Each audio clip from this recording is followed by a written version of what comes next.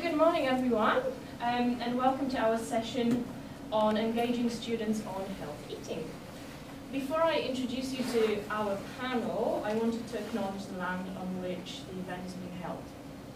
So I'd like to acknowledge that this building is situation, situated upon traditional territories. The territories include the Wendat, Anishinaabe Nation, the Hondo Shawnee Confederacy, the Mississaugas of the New Credit First Nations, and the Métis Nation.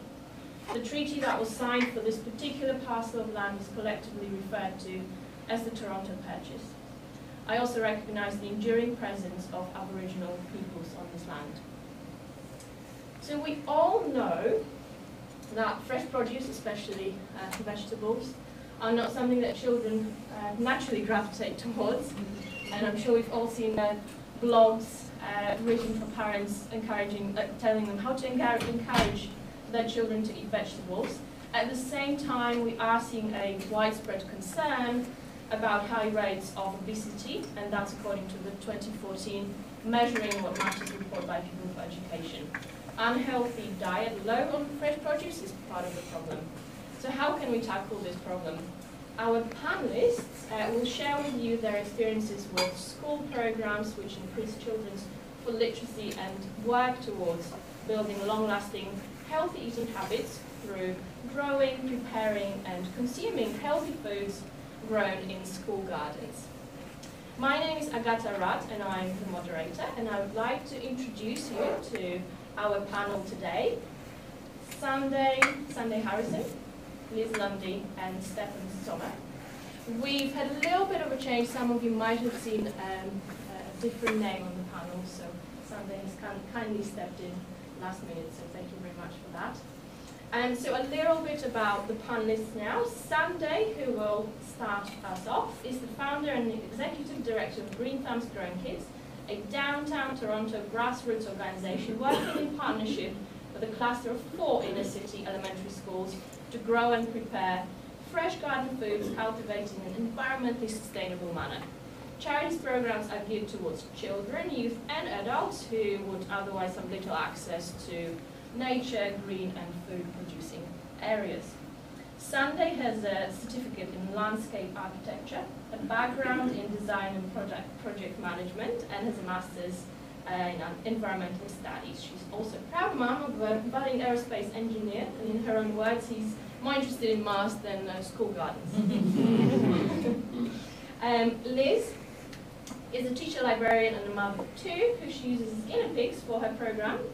Her students receive a well-rounded for education through activities such as planning, planting, weeding, tending, and harvesting their school garden, as well as cooking and eating what they grow.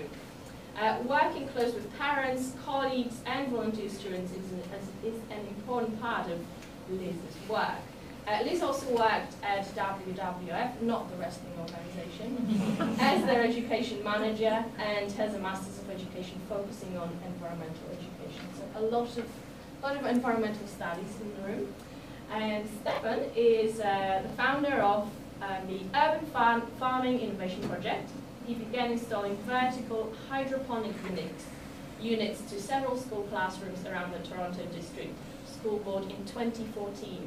The project is aimed at grade 6 to grade 12 students, and it connects the urban life experience with the practical side of growing sustainable food while promoting healthy eating habits and low emission growing techniques.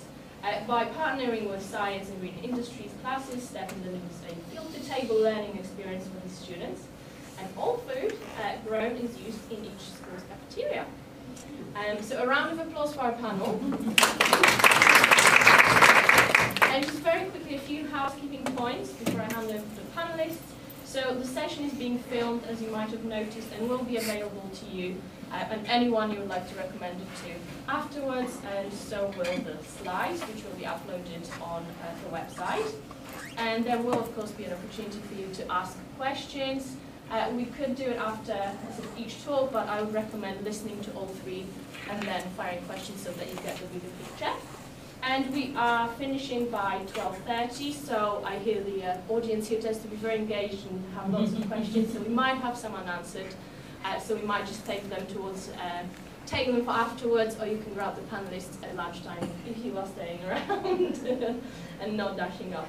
Right, thank you very much. So over to Sunday. Let's